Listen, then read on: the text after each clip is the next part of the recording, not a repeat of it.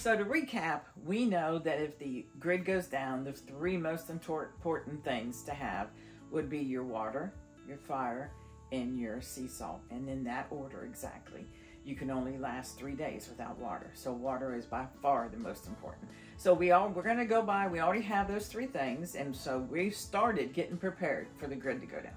So now let's talk about five other things that you will need to survive. I mean, you're gonna have to eat. And we don't know if the grid goes down, it may go down for a week, it may go down for a month, it may go down for a year, depending how long it would take to get it back up. So one of the main items would be beans. Any, any kind of beans. Well, pinto beans is really, really good for you. Um, they're high in protein and they um, they store very well. If you take the oxygen, if you take them out of this bag and put them in a container with the oxygen pulled out of that container, they'll last up to 10 years. So this is something that you could have that you're going to need your water for, your your fire for, and your salt for. And so this is uh, this would be my first thing I have. And then rice. Rice is going to be very important. It is also good. The carbohydrates give you the energy.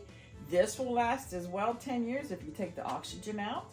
Um, and so um, beans and rice, you hear that a lot, but that is really true. You can live a long time with beans and rice. And then you have canned meats. Now the shelf life on canned meats is approximately two years. I wouldn't eat these in the normal life, um, in my normal life, but um, they're a good source of protein. And these could be very, very beneficial in the event that you don't have any food.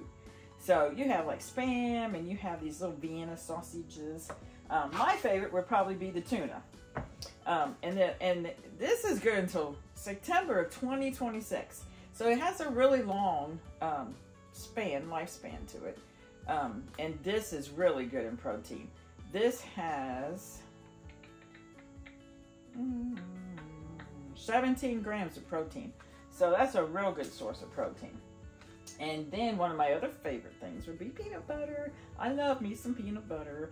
So peanut butter is also, um, it. this is good until, well, this says 2025, June.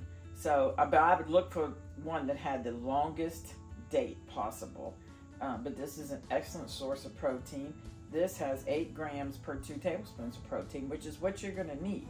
So these are five things that I would highly recommend to stock up in the event that we lose power.